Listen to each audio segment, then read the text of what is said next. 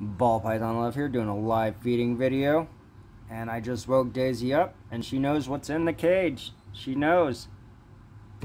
Got that shit right on the fucking mouth. Right on the mouth. It's over. He can't scream. He can't bite. It's over. Lights out. This is my normal Daisy. I love this one. Ah, she is so beautiful.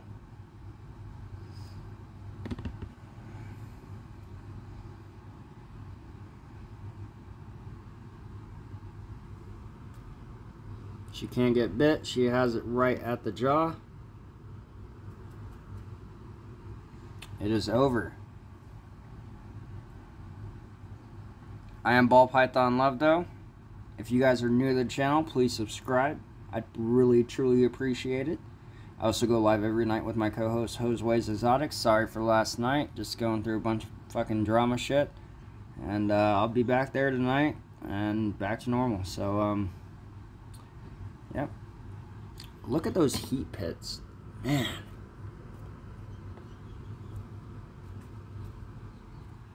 But I love Daisy. She's my normal. She's so beautiful.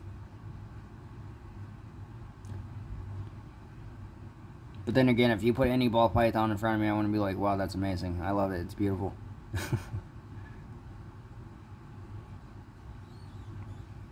but it's over. If you guys are once again new to the channel, please subscribe, like, share, comment, and turn on that notification bell. That'd be awesome.